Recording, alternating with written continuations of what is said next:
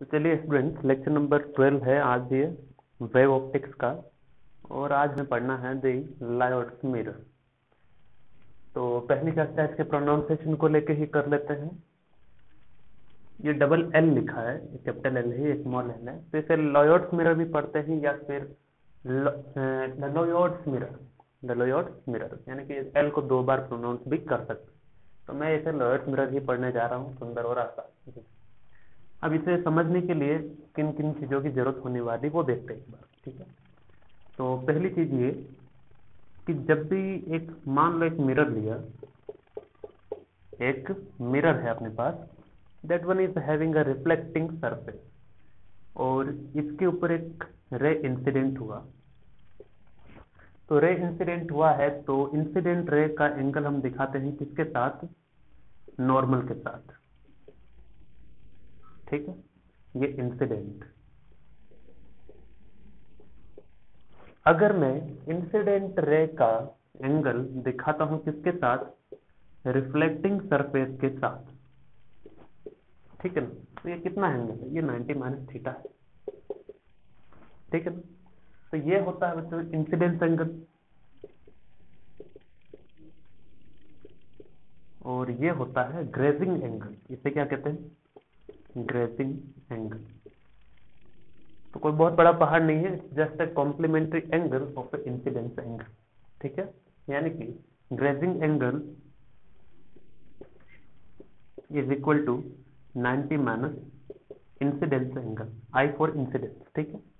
तो इसकी चर्चा हम करने वाले हैं थोड़ी देर में। लिखा भी हमें in optics grazing angle is the angle between the incident ray and the reflecting surface okay. चलिए, ये चर्चा हुई।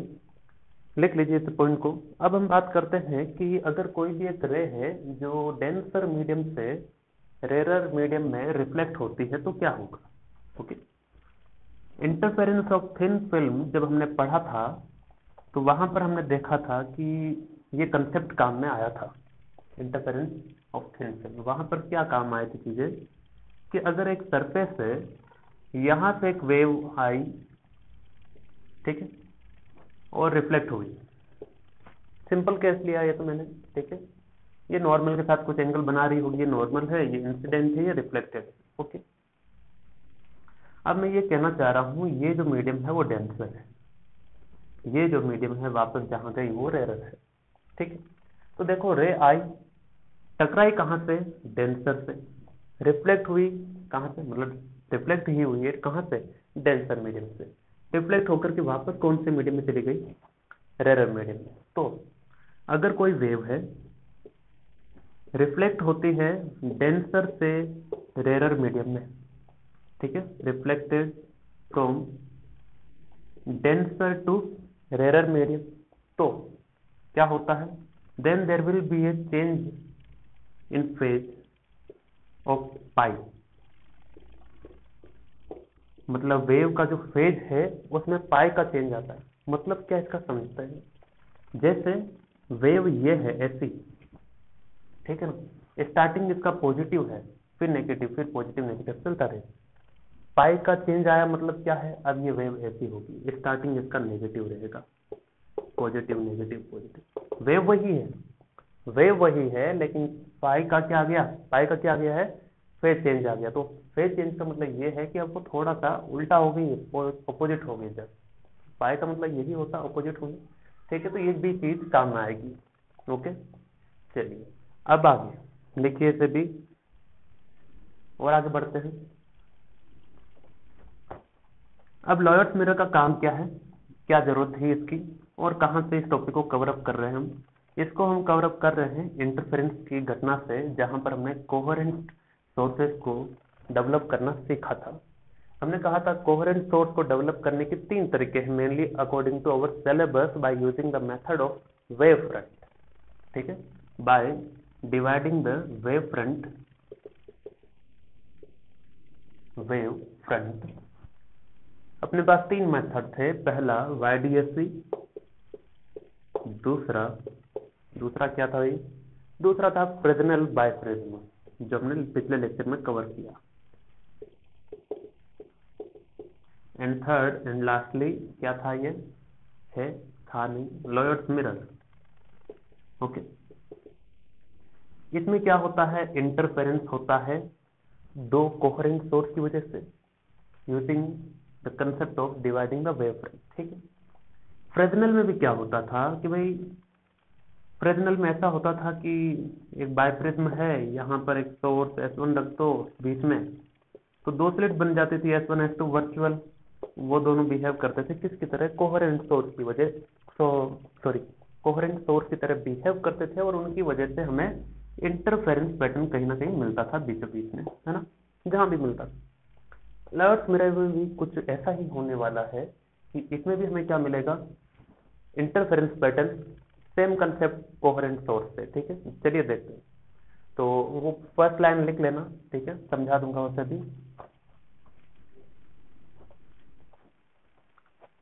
अब इसमें छोटा सा ये कंसेप्ट है, केवल और कुछ भी नहीं है है ना? तो छोटे से कंसेप्ट को समझेंगे और खत्म करेंगे। अच्छा एक चीज़ और याद दिला देते हैं आपको। इंटरफेरेंस ऑफ़ थिन फ़िल्म में जो थी, क्या? कि जब पाई का चेंज आता है due to reflection from denser to rare medium जब पाई का चेंज आता है due to reflection from the denser to rare medium तो क्या होता है? पाथ डिफरेंस के कुछ चीज़ें चेंज होती वहाँ पर। कि delta x equal to n lambda delta x equal to two n minus one lambda by two ये हमेशा सत्य था कि ये मैक्सिमा के लिए और ये मिनिमा के लिए। लेकिन इंटरफेरेंस ऑफ़ थिन फ़िल्म पढ़ के पता चला कि due to change of phase by pi pi का चेंज आने की वजह से अब ये मैक्सिमा नहीं रह करके क्या था? मिनिमा बताता था। और ये किसको बता रहा था? ये मैक्सिमा को बताता है। कब बताता है? जब रिफ्लेक्शन होता है डेंसर से रेयर मीडियम में। क्या होता है उसकी वजह से? पाई का चेंज आता है, ठीक है? तो वो सारी चीज़ें हम इंटरफेरेंस ऑफ़ थिन फ़िल्म में पढ़ चुके हैं, उसे मैं नहीं दोहरा रहा। अब हम आते हैं मुद्दे की बात पर जैसे द लर्स मिरर तो चलिए, स्वागत है आप सभी का लोअर्स मिरर के इस कंसेप्ट में।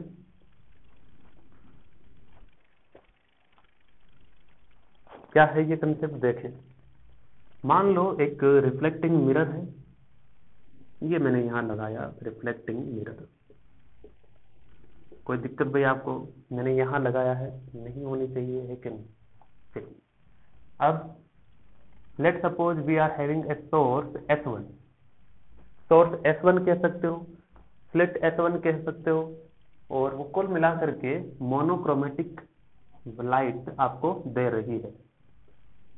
मोनोक्रोमेटिक वेवलेंथ की लाइट आ रही है। ठीक है? यहाँ पर मैंने एक स्क्रीन लगा रखा है अपनी सुविधा के लिए, कौन सी सुविधा है आपकी? सुविधा यह है इंटरफेरेंस देखने के लिए, ठीक है? अब देखो, यहाँ से ग्रेजिंग इंसिडेंस करवाया मैंने। कौन सा इंसिडेंस ग्रेजिंग इंसिडेंस मतलब मैं इस एंगल को फोकस कर रहा हूँ, ठीक है? कौन से एंगल को? इस एंगल को, जो रिफ्लेक्टिंग सरफेस के साथ बन रहा है, ठीक है? ये रे आई और रिफ्लेक्ट होकर के चली गई कहाँ पर? यहाँ पर। किसी पॉइंट पे चली गई वी डोंट नो कहाँ चली गई? एक और रे आई, एक और बुला लेते हैं। चलो थोड़ा सा ठीक से बनाते हैं इसे। फिर से तिरछी लाइनें बन जाती। बस ऐसे ही दो रे दिखा दे रहे हैं।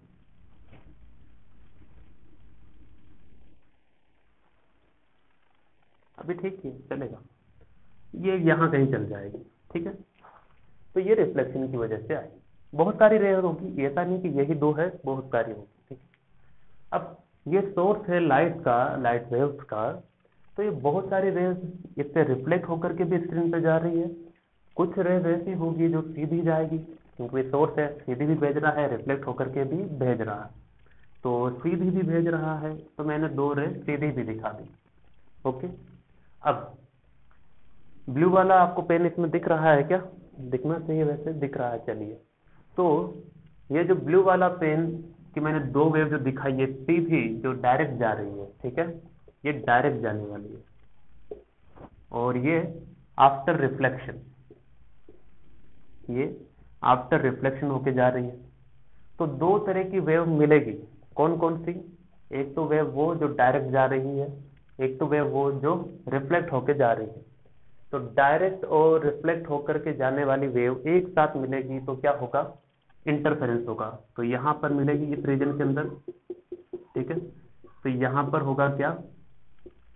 इंटरफेरेंस ठीक?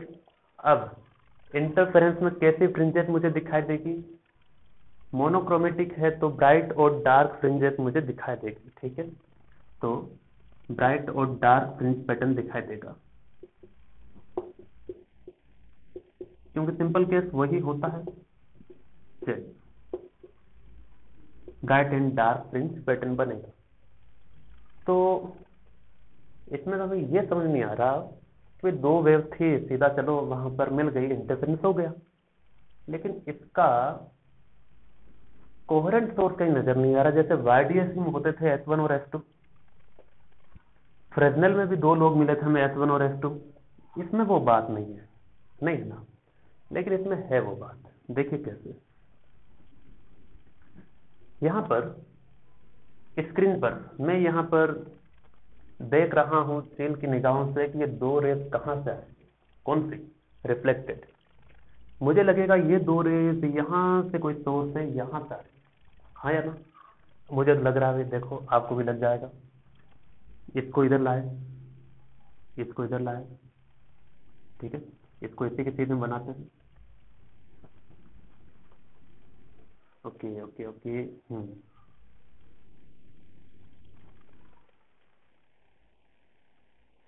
अब देखिए।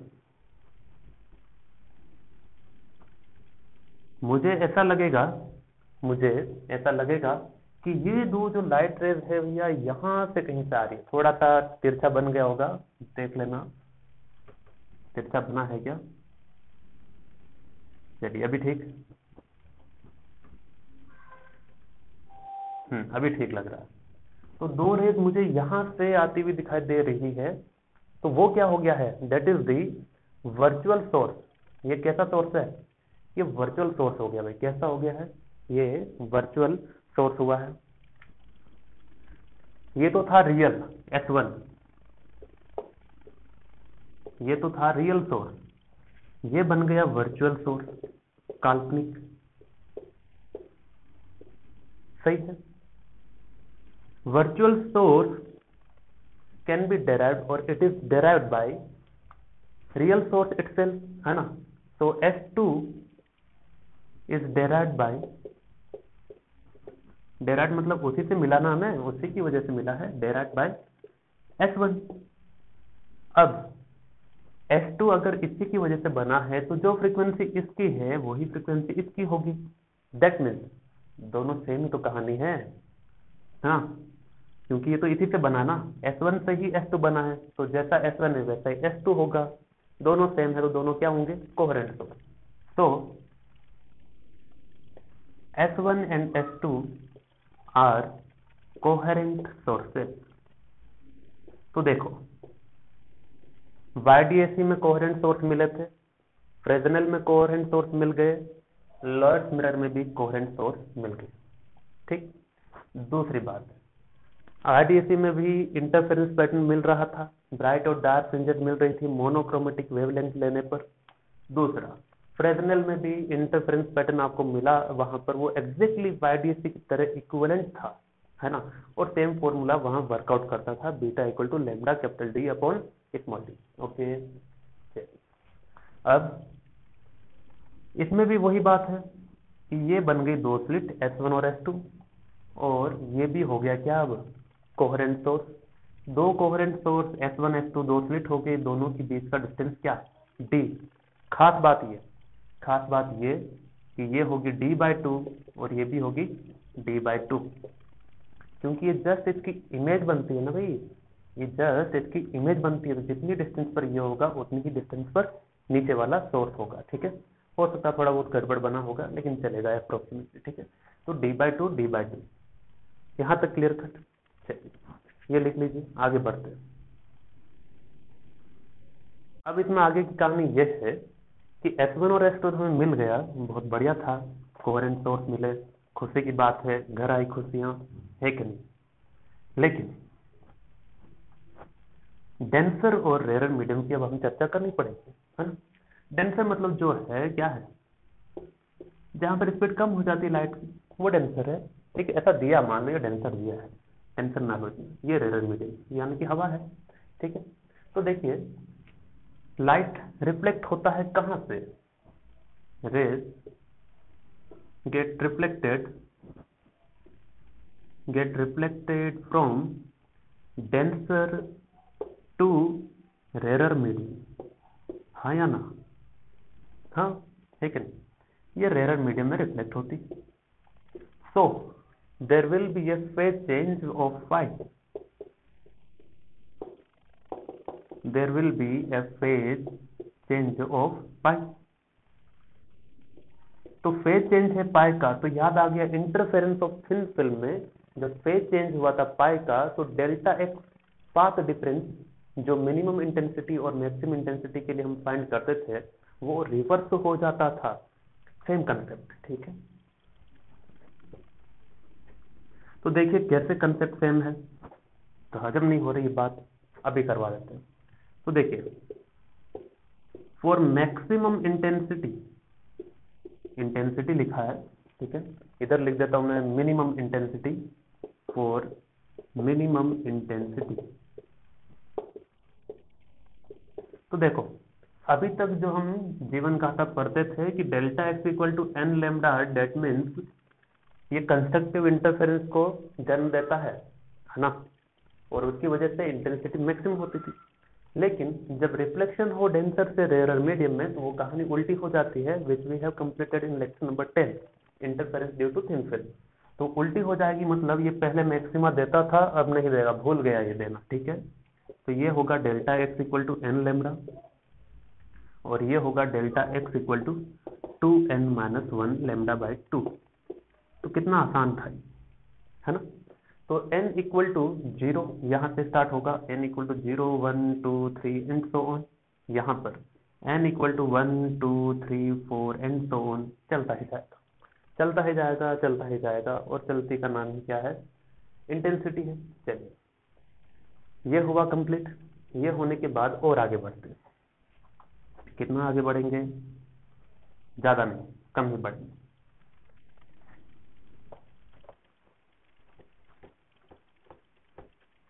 चलिए अब देखिए क्या करते हैं। अब जो ये ब्राइट और डार्क फ्रिंजेस बनी है है ना तो उसको मैं थोड़ा अलग रिप्रेजेंट करता हूँ, अलग वे में रिप्रेजेंट करते हैं। है ना सिंपल सा डायग्राम बनाता हूँ। ये थोड़ा ज़्यादा इसमें लाइनें दिखती है तो हजम नहीं होती बात। वैसे मेन डायग्राम यही था, है ना। लेकिन समझने के लिहाज से मैं थोड़ा सा एक अलग बनाऊँगा।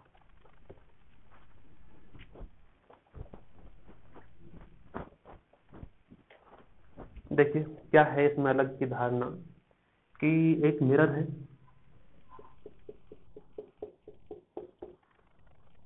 ये S1 है। एक तो आई सीधी। अच्छा थोड़ा नीचे बनाते हैं ये मिरर है। ये S1 है। ये मिरर। ये स्क्रीन है। दो वे पहुँचा नहीं एक रिफ्लेक्ट करके एक सीधी। एक सीधी पहुँचा दो। पहुँचा दी। एक रिफ्लेक्ट करके पहुँचा दो। पहुँचा दिया।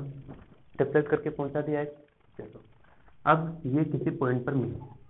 किसी पॉइंट पर मिलेगी तो वहाँ पर या तो ब्राइट होगा या फिर डार्क होगा। We don't know depends on condition okay लेकिन इतना पता है डेल्टा एक्स इक्वल टू अगर एन लेमडा यूज़ किया है तो ये मिनिमा को जन्म देगा, है ना? यानी कि वहाँ पर डार्क फ्रिंज बनेगी। और delta x equal to two n minus one lambda by two तो ये किसको देगा? मैक्सिमा फ्रिंज को बनने देगा, ठीक है? यानी कि ब्राइट फ्रिंज बनेगी, ठीक है? तो ब्राइट और डार्क फ्रिंज बन गई। बनने के बाद मान लो यहाँ पर पॉइंट ओ है। कौन सा पॉइंट है?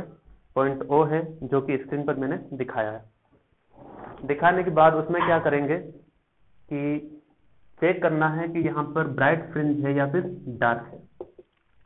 ब्राइट है या फिर डार्क है। तो देखिए ये सेंटर है वैसे, ये सेंटर है। तो सेंटर है तो सेंटर पर पाथ डिफरेंस ज़ीरो होता है है ना? चलिए या फिर ऐसे समझो, या फिर ऐसे समझो कि सेंटर पर एन इक्वल टू क्या होता है? ज़ीरो तो एन इक्वल टू ज़ीरो दोनों में से कौन सी कंडीशन में रहती? ज़ीरो इसमें रहती है ना? तो delta x equal to zero यानी कि पॉइंट ओ पर पॉइंट ओ पर एन इक्वल टू ज़ीरो है, ये हमें पता था, और उसकी वजह से पाथ डिफरेंस क्या आएगा? ज़ीरो इसमें तो n equal to zero condition होते ही नहीं, ठीक अब, पाथ डिफरेंस ज़ीरो है एन इक्वल टू ज़ीरो है तो ये कौन सी फ्रिंज को बनाएगा? वहाँ मिनिमा है। मिनिमा है मतलब डार्क फ्रिंज बनेगी। तो dark fringe will be there at O centre O will be there at point O लेकिन हर बार होती क्या थी? वाईडीएस में देखो सेंटर पर हमेशा ब्राइट रहती थी। सेंटर ब्राइट के नाम से जानी जाती थी। लेकिन इस बार बदल गई कहानी, क्योंकि रिफ्लेक्शन हो गया डेंसर से रेरर मीडियम में तो उसकी वजह से ये कहानी बदल गई और ये बदल के इतना पहुँच गई। ठीक है? चलिए, अब क्या करें इसमें? अब एक चीज़ और कर देते हैं कि फाइनल कंक्लूजन और उसके बाद एक न्यूमेरिक कर लेते हैं।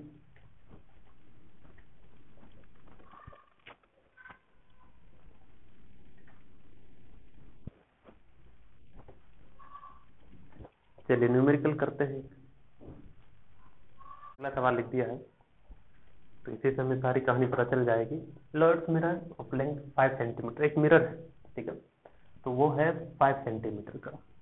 तो ये मिरर है इसकी खुद की लंबाई है फाइव सेंटीमीटर सीधा बनाओ इसमें। सीधा। बनाओ okay.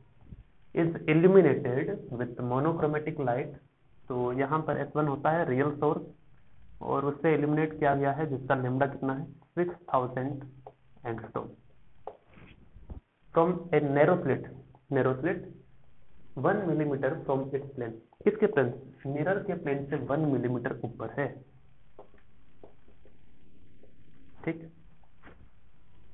And its plane and five centimetre in its plane तो ये फाइव सेंटीमीटर पर है। तो फाइव सेंटीमीटर पर है तो थोड़ा ठीक से बनाना पड़ेगा। दूरी गड़बड़ा जाएगी। यहाँ बना देते है ना?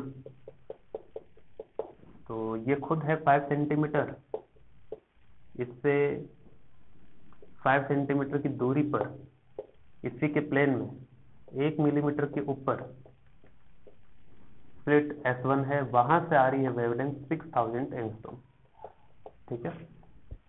ओके, अगला। Find the fringe width on screen तो स्क्रीन भी लगी होगी कहीं पर। On screen 120 centimetre from the slit तो स्लिट से कितना है? 120 सेंटीमीटर तो ये कितना हो गया? 110 हो गया। है ना? चलिए। तो अब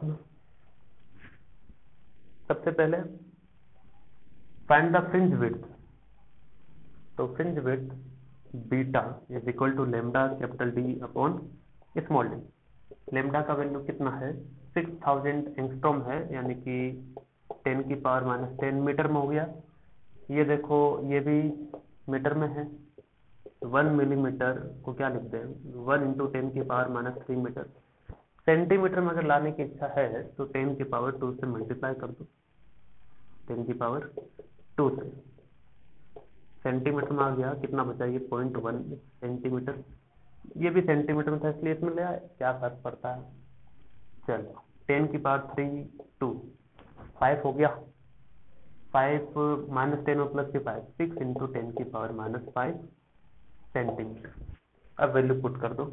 लेमडा का वैल्यू हो गया भाई कितना? सिक्स इंटू टेन की power minus five into capital D आ गया कितना? One twenty upon small D आ गया पॉइंट वन तो इसको सॉल्व करेंगे। तो मैं फाइनल आंसर बता देता हूँ। कितना आता है इसका? Beta beta comes out to be zero point zero three six centimetre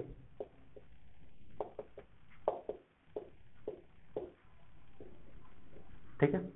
इसे लिखे। अब हम क्या करना है? अब हम इसमें एक और नीचे पूछा है find the width of interference pattern on this screen तो ये कुछ अनूठा है। अनूठा मतलब अलग है ये थोड़ा। ओके देखें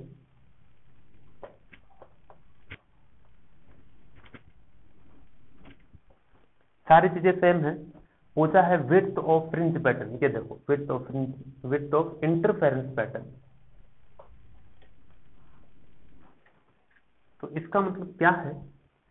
देखते हैं। मेरे ख्याल से ये वो विड्थ पूछ रहा है, जहाँ पर जितनी फ्रिंजेस बन रही है, उनकी विड्थ क्या है टोटल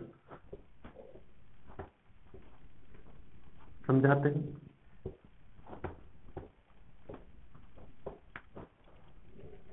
देखो, पेन कहाँ चला गया? ये रहा।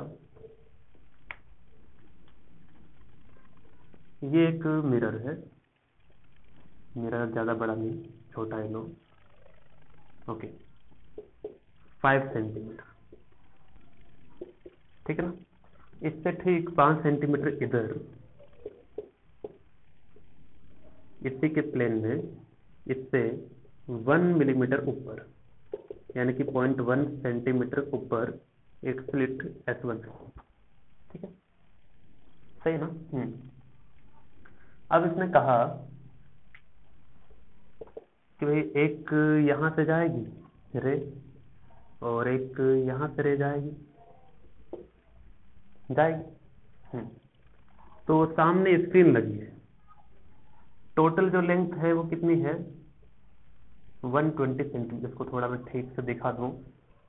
कंफ्यूजन नाम की चीज़ ही नहीं रहनी ठीक ना? यहाँ से ये कितना है? 120 सेंटीमीटर है। तो ये लेंथ कितना हो गया? 110 सेंटीमीटर सही? अब देखो, ये रिफ्लेक्ट हुआ होगा। ये भी रिफ्लेक्ट हुआ होगा। सही? थोड़ा ठीक से रिफ्लेक्ट कर दे। ये अब ठीक। तो इधर से भी कुछ वेव आई होगी और सामने एक इंटरफेरेंस पैटर्न बना होगा। है ना? मान लेते हैं यहाँ कहीं बना है। ठीक है?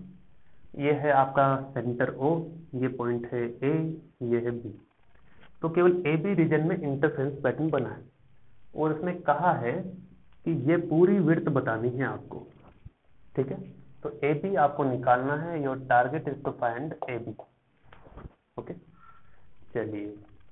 तो ए बी निकालने के लिए मैं क्या करने वाला हूँ? अप्रोच अप्रोच मेरा ये है कि इस ओ बी में से ओ बी में से अगर मैं ओ ए को क्या कर दूँ? Subtract O B minus O A is equal to क्या है? ए बी तो ए बी आएगा तो ओ बी और ओ ए निकालना है। सही ना? चलिए। ओ बी और ओ ए निकालने के लिए हम दो तरह से कहानी चलाएँगे। देखते हैं। अब ये एंगल अगर थीटा टू और ये एंगल थीटा वन ठीक है? तो इसे मान लेते हैं थीटा वन पर रिफ्लेक्ट होकर चली गई और इसे मान लेते हैं थीटा टू पर रिफ्लेक्ट होकर के चली गई। सही? ओके अब देखो, अब ऐसा कर सकते हैं tan theta one tan theta one इसे नाम देते थे, क्या नाम दें ए बी सी सी ले लो, ठीक है? चलिए। तो ट्राइंगल ट्राइंगल ट्राइंगल देखिए आप C B O C B O क्या आएगा? टेन थीटा वन यही तो है भी ट्राइंगल देखो। ये थीटा वन तो सी बी ओ ये है पूरा ओ बी ये है क्या? सी ओ सी ओ की लेंथ कितनी है? 110 और 5 कितना होता है? 115 तो टेन थीटा वन में निकालने वाला हूँ इसमें। परपेंडिकुलर बाय बेस परपेंडिकुलर हो गया ओ बी बेस हो गया कितना? 115 इक्वेशन वन ओके इसी तरह से ट्राइंगल इसे नाम देते हैं C D D A O triangle में. ट्राइंगल डी ए ओ में. उसी के नीचे लिख देते हैं, जगह रह जाएगी थोड़ी. ट्राइंगल डी ए ओ में. टेन थीटा टू कितना आएगा? Tan theta two O A upon one one zero अब यहाँ से ओबी और ओ ए तो आ जाएगा, लेकिन टेन थीटा वन का क्या करेंगे? Tan theta one theta two तो ये तो हमने खुद माना है, जिनका वैल्यू भी हमें पता नहीं है। तो इस केस में क्या करना चाहिए? क्या कहता है आपका विचार? मेरा विचार ये कहता है कि हमें थोड़ा सा और भी घूमना चाहिए इसमें थ्रू देखो कैसे। ऐसा कर सकते हैं, जैसे ये एंगल अगर थीटा वन है तो ये भी कितना होगा? थीटा वन ही होगा, ठीक है? यू कैन से यहाँ से एक रे आई ये थीटा वन है, ठीक है? बीच में एक नॉर्मल होता है तो ये 90 डिग्री ये कितना होगा? 90 माइनस थीटा वन ये कितना होगा? फिर से थीटा वन थीटा वन ही होगा। 90 माइनस थीटा वन हाँ सही ये 90 माइनस थीटा वन होगा क्योंकि जिस एंगल पर रिफ्लेक्ट होती है, उसी एंगल पर इंसिडेंट भी होती है। स्नेल्स लो ठीक है? और ये फिर से क्या बन गया? थीटा वन ठीक है ना? तो angle I equal to angle R हो गया थीटा वन का थीटा वन रह गया, ठीक है ना? तो ये जो एंगल है, ये भी क्या है? थीटा वन ही है, ठीक है ना? इसको नाम दो। सी एस वन और इसे मिला देते हैं सी एस वन ये यहाँ तक फाइव सेंटीमीटर इसके सीध में लिया, ठीक है? सी एस वन पी कह देते हैं इसे। पी और कोई तो नहीं है? नहीं है। Triangle C S one P इसमें टेन थीटा वन बताओ तो tan theta one equal to perpendicular by base सही है ना? परपेंडिकुलर कितना? पॉइंट वन सब कोई सेंटीमीटर में है तो कोई चर्चा का कोई विषय नहीं। चलिए। इसी तरह से ट्राइंगल सी सी की जगह बी है तो ये भी थीटा टू ही होगा। डी एस वन पी दिख तो रहा ना, थीटा वन, थीटा टू, यार मैंने ज़्यादा छोटा लिखा है, नहीं दिख जाएगा D S one P D S P D S one P ठीक है। Tan theta two is equal to perpendicular यही है लेंथ ये हो गया फाइव और फाइव टेन बस हो गया खत्म। क्या करेंगे? टेन थीटा वन का वैल्यू मिल गया, ये यहाँ रख देंगे। टेन थीटा टू का वैल्यू मिल गया, ये यहाँ रख देंगे सोल्व करेंगे करते हैं, चलो।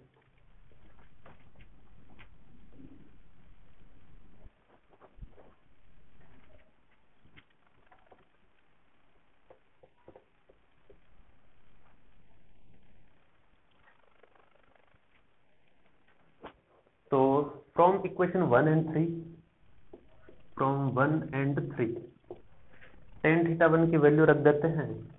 Point one upon five is equal to O B upon one one five O B is equal to point one upon five into एक सौ पंद्रह। सही? सही है। और इसे हम दे देते हैं इक्वेशन नंबर फाइव नाउ ये सेंटीमीटर में। Now from equation two and four two and four. तो टू एंड फोर ये टू है, ये फोर है टेन थीटा टू की वैल्यू यहाँ रखो। तो point one by ten is equal to O A by one one zero ठीक? अब क्या करेंगे? अब कुछ नहीं करना है कैलकुलेशन खत्म कर देना है, वो हम कर लेंगे। नहीं, वो भी मैं करवा देता हूँ। पूरी नहीं करवाएँगे आते ही करवाएँगे यहाँ से ओ ए कितना आ जाएगा? Point one by ten into one one zero okay equation number six क्या करना है? ओ बी माइनस ओ ए करना है, तभी क्या आएगा? ए बी इंटरफेरेंस पैटर्न की width so A B which we have to find that is O B minus O A O B कितना? Point one upon five into एक सौ पंद्रह minus point one upon ten into एक सौ दस. ये आएगा सेंटीमीटर में. फाइनल आंसर बता दे रहा हूँ. सोल्व ज़रूर कर लेना, ऐसा ना हो खुद ऐसे ही लिख लो तुम लोग. तो ये सॉल्व करने पर आएगा 1.2 सेंटीमीटर क्योंकि किताबों में हो सकता है गलत हो जाए आंसर प्रिंटिंग मिस्टेक तो ये 1.2 सेंटीमीटर है। तो इसी के साथ हमने लर्ट मिरर का कंसेप्ट कंप्लीट कर दिया। है इतना था, आसान सा है, छोटा सा है, ठीक है? और अब इसी के साथ अपना इंटरफेरेंस की जो बातें थी इंटरफेरेंस की जो बातें थी, खत्म हो चुकी है। अब अपना नया जो लेक्चर सीरीज़ होगा, इसी चैप्टर में वेव ऑप्टिक्स में ही है अभी। ठीक है ना? टू बी कंटिन्यू ही रहने वाला है डिफ्रेक्शन स्टार्ट करने वाले हैं। क्या स्टार्ट करेंगे? डिफ्रेक्शन तो डिफ्रेक्शन में आसान सी चीज़ें ही रहेगी, ज़्यादा लेक्चर भी नहीं रहेंगे। अगला लेक्चर अपना डिफ्रेक्शन पर रहेगा। एक चीज़ और बता देता हूँ मैं आपको कि पिछले कुछ प्रीवियस ईयर्स के क्वेश्चन करेंगे तो वहाँ पर आपको न्यूटन रिंग के क्वेश्चन मिलेंगे। ठीक है जो अभी के पैटर्न के अकॉर्डिंग ये टॉपिक अभी हाल फ़िलहाल अपने दायरे में नहीं आता, अपने कवरेज में नहीं आ रहा तो इसको अभी हम नहीं कर रहे हैं, ठीक है? इनकेस अगर इसकी इंपॉर्टेंस से फील हुई तो हम करेंगे। हाल फ़िलहाल इसकी कोई इंपॉर्टेंस नज़र नहीं आ रही है है ना? तो इसको नहीं कर रहे अब तो हम सीधा डिस्कशन में मिलेंगे, ठीक है? तो इसमें अगर कोई डाउट आता है तो बताइए, वरना डिस्क्रिप्शन में आप पढ़ेंगे, बहुत जल्द, ठीक है? चलिए फिर पढ़ाई करते रहिए।